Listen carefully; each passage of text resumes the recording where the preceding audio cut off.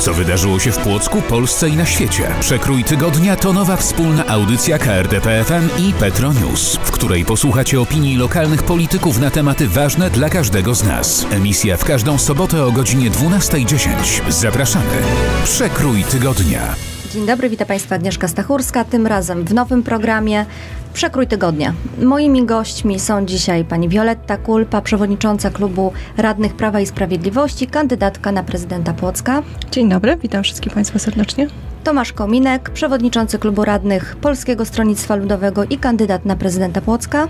Witam pani redaktor, dzień dobry Państwu oraz Artur Kras, płocki radny, przewodniczący klubu radnych Platformy Obywatelskiej i kandydat e, na radnego z ramienia Koalicji Obywatelskiej. Dzień dobry Państwu. E, w pierwszej części naszego spotkania porozmawiamy sobie o tematach ogólnopolskich, a nawet ogólnoświatowych.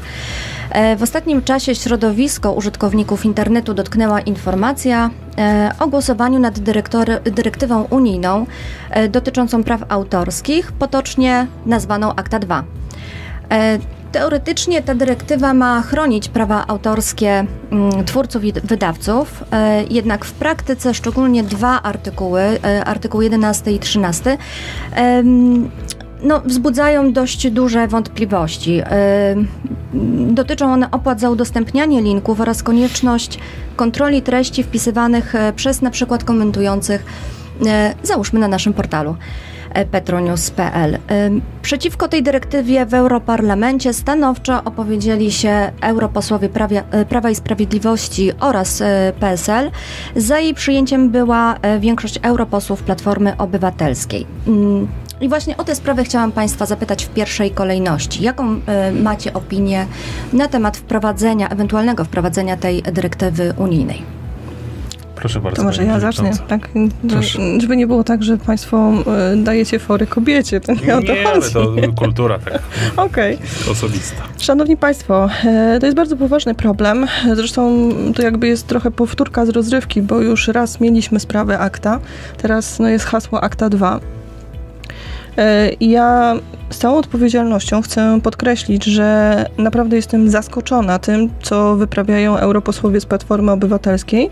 E, tymczasem tu na miejscu cały czas krzyczy się konstytucja, e, prawa większe, nie wiem, ograniczanie praw. Nie, to państwo właśnie proponujecie ograniczanie praw, ogranicze, ograniczenie praw internautom, którzy do tej pory traktowali internet jako źródło informacji. Tego teraz nie będą mogli robić. Oczywiście nie ma jeszcze tych przepisów końcowych, które będą jakby mówiły o tych karach narzuconych i ewentualnie dochodzeniu do tego egzekwowania, jeśli ktoś wykorzysta czyjeś prawa, ale generalnie y, sprowadzacie to państwo tylko i wyłącznie, mówię państwo w kontekście Platformy Obywatelskiej, do y, hasła, że to jest, to są prawa autorskie, będziemy to szanować, musimy dbać o to i tak dalej. Nie to jest y, zatkanie ust y, wszystkim internautom, którzy publikują jakieś informacje, które nie do końca są y, zgodne z opinią na przykład danej opcji politycznej. My jako Prawo i Sprawiedliwość się z tym nie zgadzamy, jest wolność słowa i każdy może publikować swoje opinie, natomiast linki, które cały czas udostępniamy i zapewne jakby poszukać to również na stronie oficjalnego Facebooka pana radnego Artura Krasa też byśmy znaleźli takie linki, gdzie odnosi się do jakichś artykułów, do informacji gdzieś publikowanych w innych mediach, są ogólnodostępne. Nikt tych praw nikomu nie zabiera. My po prostu odnosimy się do czyjejś wypowiedzi i też była sytuacja taka, czy my możemy, czy Państwo możecie jako media cytować wypowiedź jakiejś osoby? Czy to też nie będzie również brane e, pod kątem akta 2? E, czy nie będzie narzucanie jakichś kar e, z tego tytułu, że ktoś udostępnia wypowiedź? To jest dla mnie niewyobrażalne, co można zrobić w internecie, jeśli wprowadzi się rzeczywiście tą dyrektywę akta 2 w życie. Druga kwestia to jest taka, dla mnie to trochę wygląda na inwigilację wszystkich nas, bo kto dzisiaj nie korzysta z internetu? Praktycznie wszyscy. E, I ten drugi przepis dyrektywy, o którym pani redaktor wspomniała, ten artykuł 13, dotyczy tego, że wszystko, e, czyli e, operator, który jest sprzedawcą usługi internetowej dla poszczególnego gospodarstwa domowego, czyli przysłowiowego pana Kowalskiego bądź pani Kowalskiej, będzie musiał kontrolować, co tak naprawdę odbiorca robi na swoim komputerze i gdzie umieszcza informacje. Jeśli zamieści jakieś zdjęcie, do którego nie ma praw, to też ciąży kara na tym operatorze, który jest sprzedawcą tej usługi. Czyli jak to będzie wyglądało? Czyli operator będzie nas y, kontrolował i, i inwigilował, w jaki sposób będą dochodzić do tego, czy my coś robimy, czy nie robimy, czy jest to właściwe udostępnianie, czy niewłaściwe, czy jest to kradzież intelektualna, czy jest to e, udostępnianie zdjęcia, do którego nie mamy praw. Ja tak na dobrą sprawę mm, no, nie widzę tego tak naprawdę w naszej przestrzeni, bo my chyba sobie do końca nie zdajemy sprawy, jak bardzo to ogranicza naszą przestrzeń, nasze prawa, naszą możliwość pozyskiwania informacji. No bo skąd będziemy czerpać te informacje? To tak na początek, ale wydaje mi się, że e, to idzie w bardzo złym kierunku i to jest bardzo zła decyzja, którą podjęli e, europarlamentarzyści z Platformy Obywatelskiej. To może dajmy y, powiedzieć panu Arturowi. Szanowna pani radna, mnie jest z kolei bardzo dziwi wolta, którą y, wykonało Prawo i Sprawiedliwość, bo z tego co pamiętam, to do początku lipca bieżącego roku posłowie y, europosłowie Prawa i Sprawiedliwości popierali ten dokument. Natomiast co się stało po 4 lipca, nie wiem, to tylko Państwo wiedzą. A z mojej strony ja widzę, że pani radna myli y, dwa pojęcia. Odpowiedzialność za słowo i prawo do publikacji. Otóż nikt nie będzie ograniczał prawa do publikacji. Natomiast pojawi się, jeśli te przepisy wejdą w życie, pojawi się coś takiego jak odpowiedzialność za słowo. Otóż przed nami leży gazeta Petronews i nie wyobrażam sobie, żeby redakcja zamieściła tutaj na przykład y, artykuł, y, który godzi w dobre imię tejże redakcji. A w tym momencie w internecie to się może zdarzyć. I właśnie chodzi tylko o to, żeby operator miał prawo do na przykład yy, pociągania do odpowiedzialności osoby, która zachowuje się nieodpowiedzialnie i na przykład szerzy plotki na jakiś temat, korzystając z tego, że w tym momencie internet jest y, anonimowy i tak jak powiedziałem, nie ma możliwości takiej, żeby kogokolwiek y, pociągnąć do odpowiedzialności za słowa, które wpisuje w internecie. I chodzi tylko o to, regulację. Panie radny, w tej chwili mamy takie możliwości. No państwo macie, natomiast w internecie nie ma takiej możliwości. W internecie każdy może wpisać co chce. W internecie mamy takie Idzie pan na, do prokuratury, Ale- zgłasza przestępstwo. A wie pani, ile czasu to może trwać? Kilka Około lat, dwóch kiedy... miesięcy, bo zgłosiłam to. No może, miesiące. może tak być, ale po tym czasie już nikt nie pamięta o temacie i plama pozostanie. Ktoś chlapnął błotem, błoto się przyklei i to właśnie o to chodzi, żeby takie błoto się nie przyklejało. Natomiast jeśli chodzi jeszcze o prawa autorskie, to też y, tutaj pozwolę się podeprzeć tytułem Petronius. Państwo Petronius nie publikujecie nigdy fotografii bez y, informacji, kto jest autorem, bez zgody tego autora na opublikowanie tej fotografii, ewentualnie artykułu autora bez jego zgody.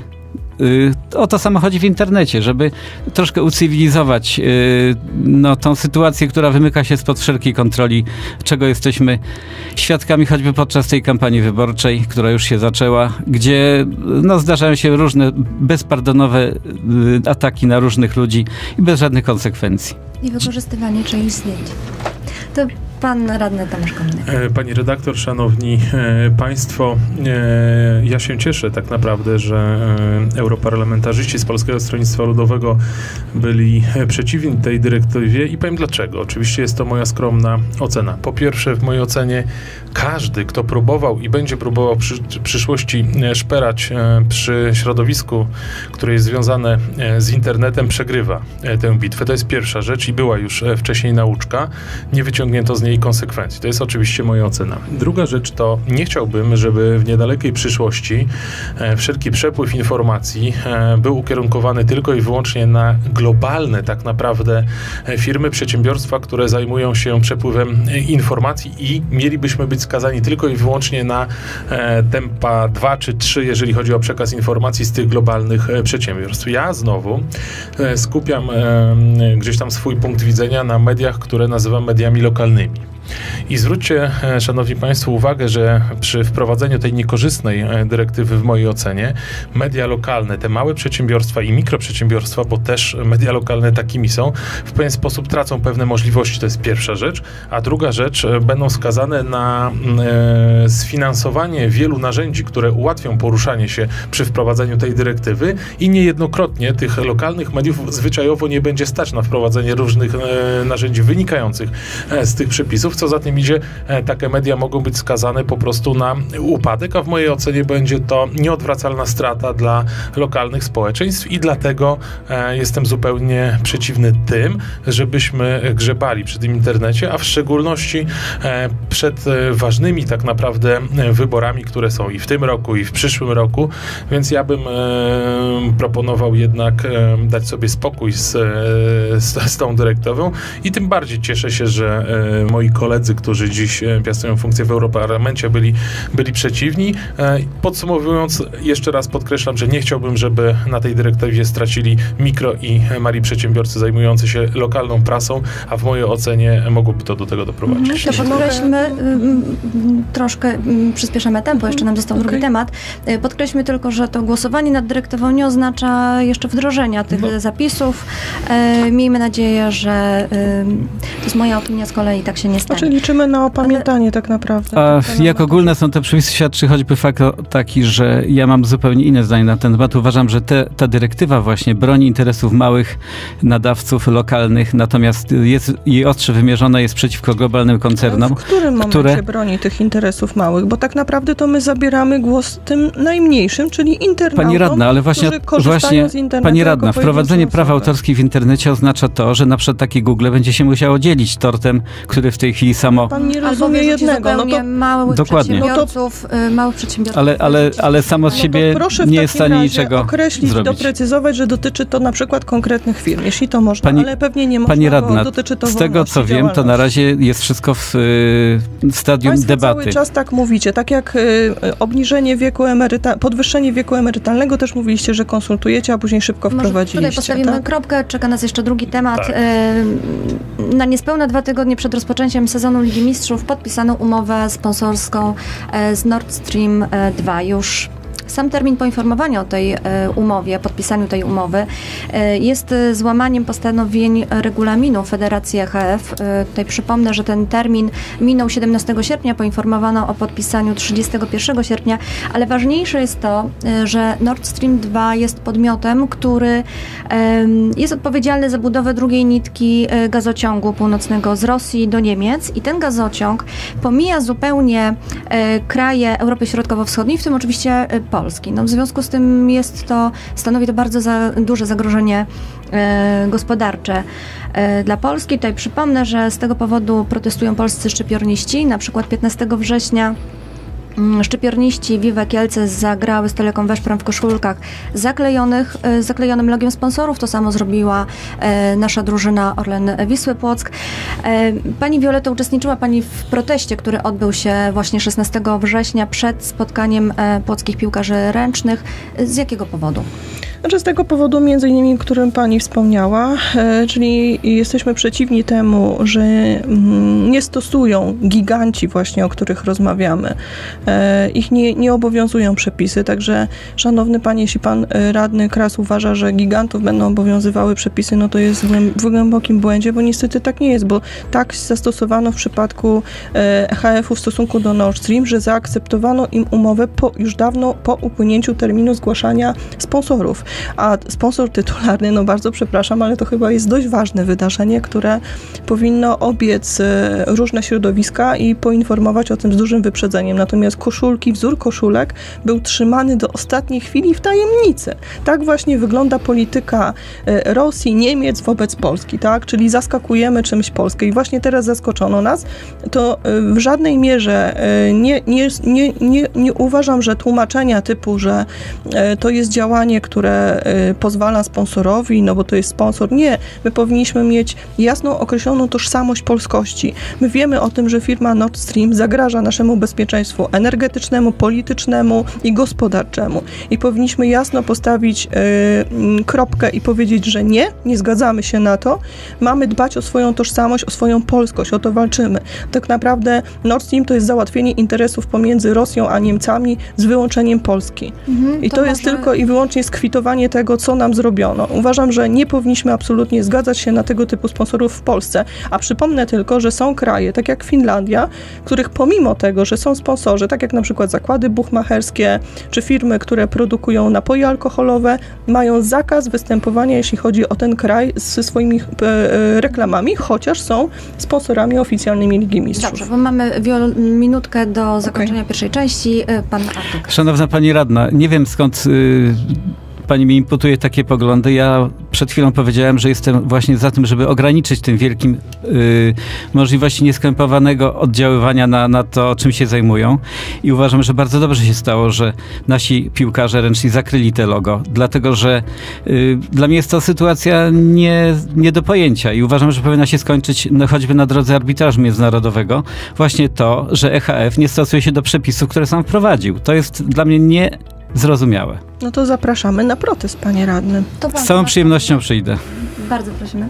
E, ja e, jestem przeciwnikiem tego, żeby do sportu wchodziła polityka i interesy e, tak duże gospodarcze i polityczne. Niemniej jednak po raz pierwszy Myślę, że tu mówimy wszyscy jednym głosem.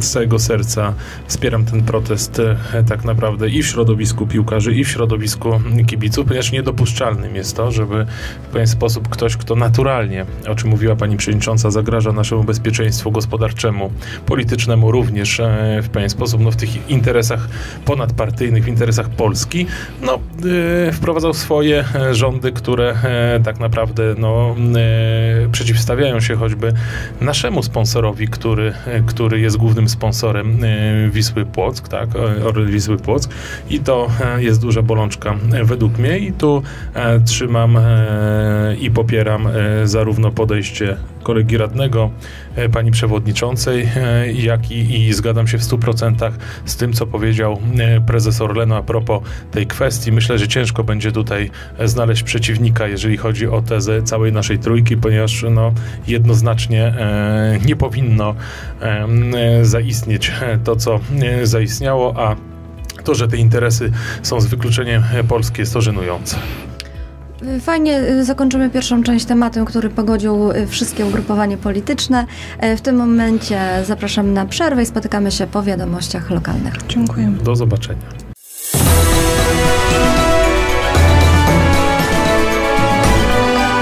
Przekrój tygodnia. Witam po przerwie. Przypomnę, że moimi gośćmi są dzisiaj Wioletta Kulpa. Dzień dobry, witam serdecznie. Tomasz Kominek. Jeszcze raz serdecznie i Artur witam. Kras. Miło mi. E, teraz przechodzimy do tematów lokalnych, e, bardzo nam bliskich, e, a szczegółowo mówiąc projektów, które pojawiły się w kampanii wyborczej. Zacznijmy może od darmowej komunikacji dla mieszkańców. Mamy tutaj przeróżne propozycje. Prezydent Andrzej Nowakowski wprowadził już darmową komunikację dla uczniów szkół podstawowych. Mm, radna mm, Wioletta Kulpa proponuje nam bezpłatne przejazdy dla wszystkich e, płotczan, e, a pan Tomasz Kominek obiecywał ostatnio przeanalizować e, możliwość bezpłatnej komunikacji pod kątem kosztów. Który z tych pomysłów jest według Państwa najbardziej sensowny? Kto zaczyna? Może już od Pani Wioli, skoro zaczynaliśmy zawsze, to bardzo Okej, okay, dobrze. Znaczy, proszę Państwa, no oczywiście będę bronić pomysłu e, komunikacji bezpłatnej dla wszystkich mieszkańców e, Płocka. Zaznaczam, że chodzi tylko i wyłącznie o mieszkańców Płocka, bo to nie ma być e, w żadnej mierze pomoc socjalna, to nie o to chodzi. I to, co proponuje pan Nowakowski w wersji, że bezpłatna komunikacja dla uczniów szkół podstawowych jest trochę, wydaje mi się, zaśmianiem się w kierunku Płotczan, bo dotyczy to tak małej grupy dzieci, że jest to aż niewyobrażalne. Chciałabym wiedzieć w ogóle, kto wyliczył te koszty, bo dzieci zgodnie z rejonizacją i tak mieszkają niedaleko szkoły, więc nie dojeżdżają tym autobusem, tym bardziej maluchy, które najczęściej podwożą do szkoły rodzice samochodem. W związku z tym nie wiem, kto korzysta z tej komunikacji bezpłatnej. E, natomiast e, ja Państwu mówiłam wielokrotnie o tym, że mamy poważniejszy problem, z którym de facto ani włodarz miasta do tej pory przez 8 lat e, nie kiwnął palcem. I efekt tego mamy bardzo drastyczny, czyli chodzi o zmniejszającą się ilość mieszkańców Płocka. Państwo cały czas też podkreślacie, ale to nie, nie jest absolutnie dygresja w stosunku do gości, tylko mówię o mediach też, że posługujemy się liczbą 121 tysięcy, jeśli chodzi o rocznik statystyczny ilość mieszkańców a jak teraz mamy kampanię wyborczą, e, PKW podała oficjalne informacje dotyczące ilości mieszkańców, bo to jest związane z przelicznikiem chociażby limitu e, na e, prowadzenie kampanii wyborczej, jest 115 tysięcy, czyli już mamy olbrzymi spadek. Przypomnę tylko o tych prognozach pana profesora Śleszyńskiego z PANU, że do 2050 roku liczba nam spadnie do 86 tysięcy. Czyli de facto mm, nikt z osób rządzących do tej pory, a przede wszystkim prezydent miasta do tej pory nie myślał o tym, jak zahamować ten proces. Oczywiście ważne są y, siłownie pod chmurką, y, placy zabaw, ścieżki rowerowe, nikt tego nie umniejsza, tylko musimy myśleć strategicznie o rozwoju naszego miasta w kontekście tego, aby przede wszystkim był atrakcyjny i dla inwestorów, i dla młodych ludzi, którzy niestety stąd wyjeżdżają na studia i już tu nie wracają. Czyli po to y, między innymi jest ta bezpłatna komunikacja jako jeden z elementów, podkreślam, nie jedyny. Nie prześmiewczo proszę mówić, że dzięki komunikacji załatwimy większość, y, więcej mieszkańców, bo to nie o to chodzi.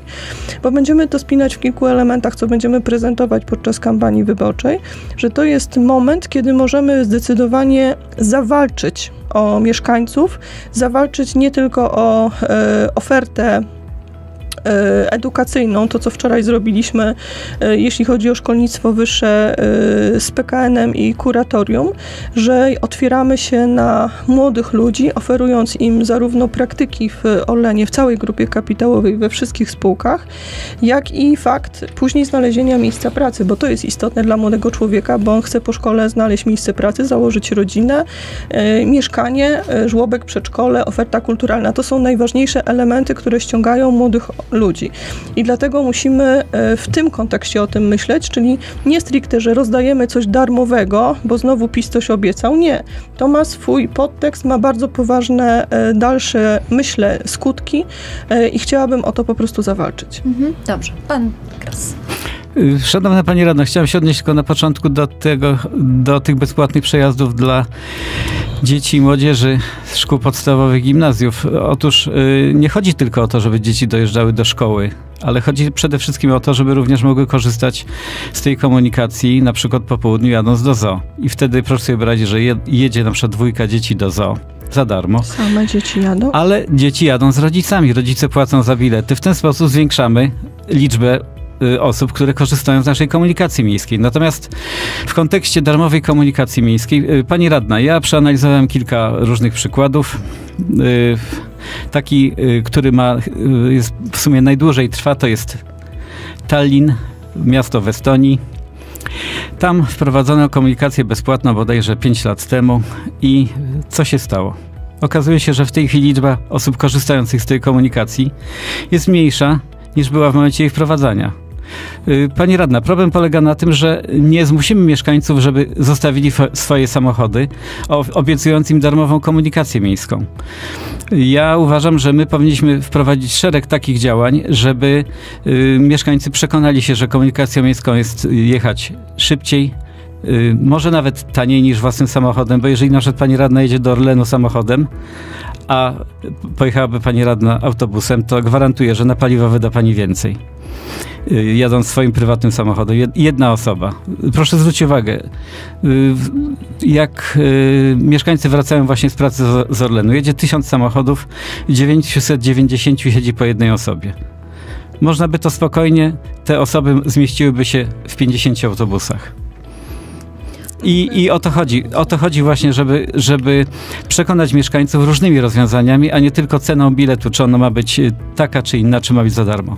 Y, może dajmy jeszcze się wypowiedzieć panu y, Kominkowi. Jak zostanie chwilkę czasu, to pani się e, Szanowni Państwo, jeżeli chodzi o komunikację miejską, to e, po pierwsze chciałbym e, dożyć w przyszłej kadencji samorządu tego, żebyśmy wymienili cały tabor autobusów na autobusy godne, niskoemisyjne i takie, które generalnie będą służyć poprawnie mieszkańcom i e, efektywnie samorząd miasta współpracując z samorządem województwa czyni to i wymienimy w najbliższych kilku miesiącach. Przecież jest już to w umowach 33 autobusy, ale większy nacisk e, chciałbym poświęcić na to, żebyśmy wszystkie te autobusy doprowadzili do pełnej kultury. To jest pierwsza rzecz.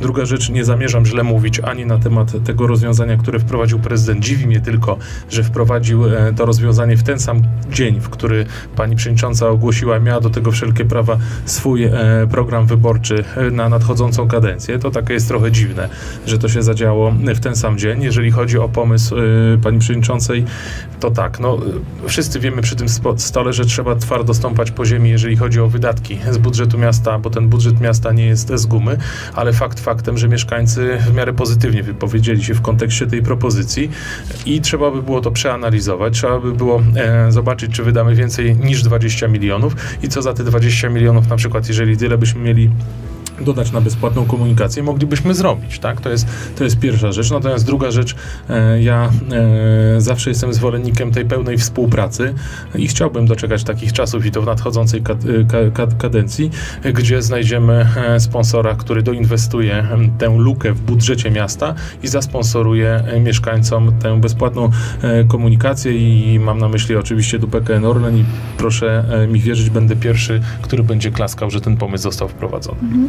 To ja chciałabym jeszcze jeden temat e, poruszyć. Tutaj czas nam leci bardzo szybko w tym programie, trzeba to powiedzieć. Dobrze. O budowie sali koncertowej dla Płockiej Orkiestry Symfonicznej. Mówi się o tym od e, bardzo dawna. Mm, e, były różne propozycje lokalizacji, omawiane zresztą podczas specjalnej sesji.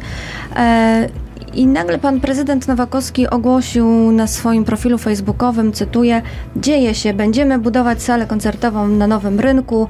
Do 2024 roku w budżecie miasta przeznaczymy na ten cel 50 milionów złotych. E, czy radni już omawiali ten pomysł, zaakceptowali go? Nie wiem, odbyła się jakaś sesja tajemnicza, o której nie wiemy? Nie wiem, może tym razem od pana Artura Krasa, bo to ten temat. Szanowni Państwo, sala koncertowa, podobnie jak stadion, podobnie jak parki, to jest y, element przestrzeni miejskiej, która dla mieszkańców jest y, potrzebna i Teraz pytanie tylko właśnie do nas radnych, w jaki, w jaką y, zastosujemy gradację celów, który cel jest dla nas ważniejszy. Jeśli wszystkie trzy to myślę, że równolegle możemy starać się, aby budować właśnie i salę koncertową, i stadion, i nowe tereny zielone, na przykład Jarbrzeźnicy. Ale tutaj do samej formy chciałam się odnieść, bo pan prezydent to już tak ogłosił, jakby to było pewne, przyklepane. Mamy zarezerwowane w budżecie. Proszę państwa, w tym momencie trwa konstru konstruowanie budżetu na rok yy, przyszły.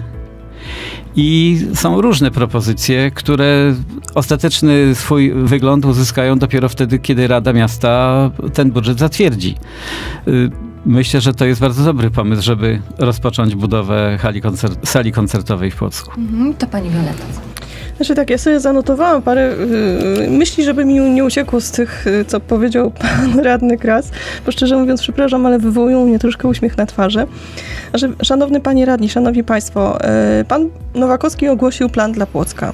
To jest taki plan, że większość z tych inwestycji, które on teraz planuje, tak naprawdę planował przez 8 ostatnich lat i cały czas o tym mówił, mówił, mówił, ale niestety tego nie zmaterializował. Podobnie jest y, z Filharmonią, czy też nie lubię określenia Filharmonia, bo uważam, że to powinna być duża sala koncertowa z prawdziwego znaczenia, która by mieściła w swoim obiekcie również wszystkie jednostki, które zajmują się podobną działalnością kulturalną i również organizacje pozarządowe, co jest ważne, które gdzieś są rozsiane po całym mieście, a potrzebne jest im miejsce, w którym mogliby wszyscy się skupić. Mieliby jedną salę dużą koncertową, wystawiennicze, mniejsze sale y, również y, do prezentacji y, swoich dzieł.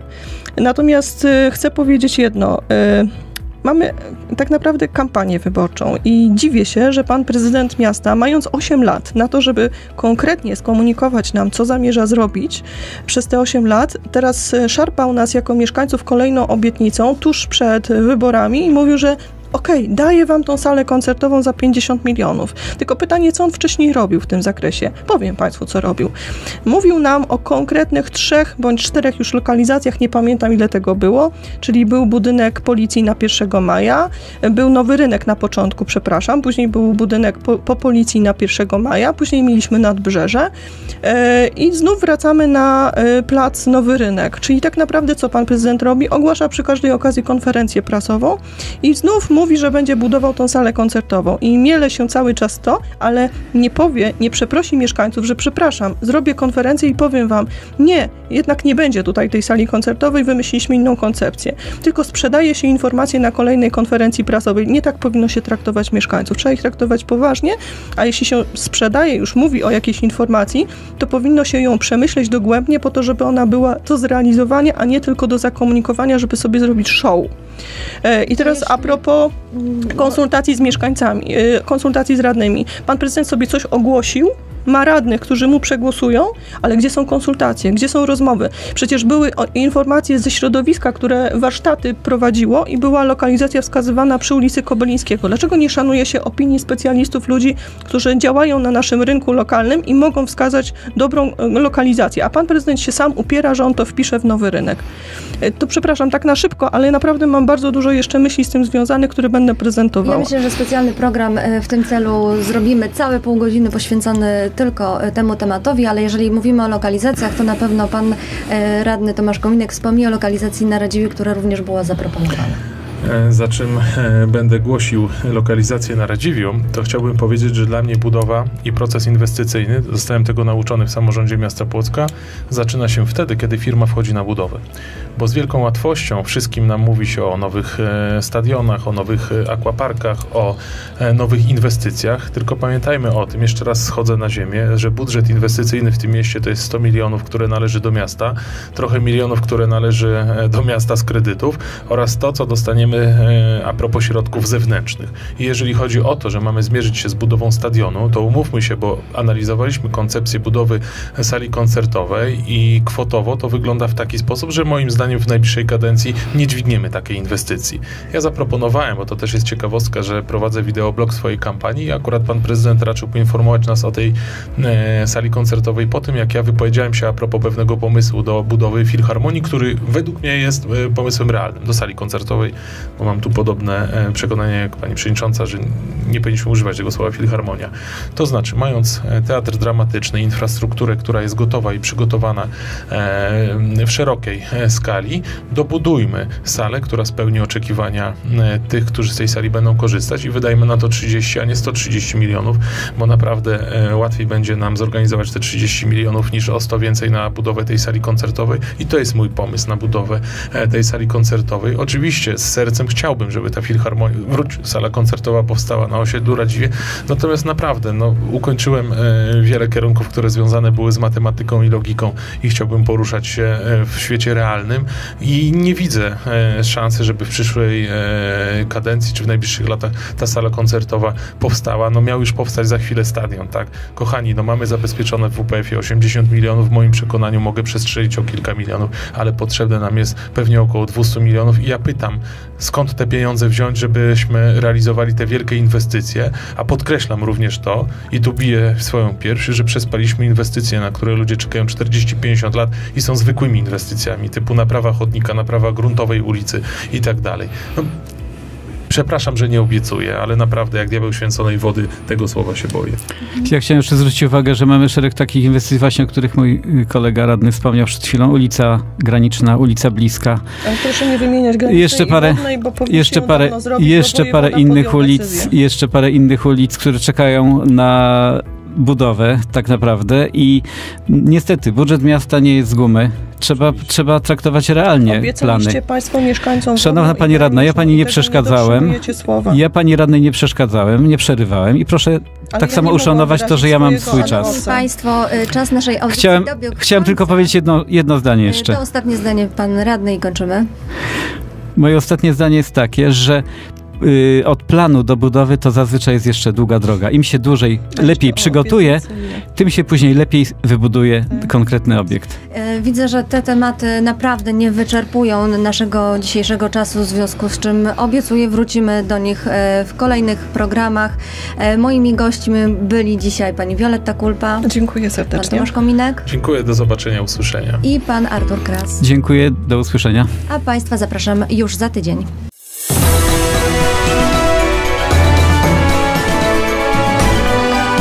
Przekrój tygodnia.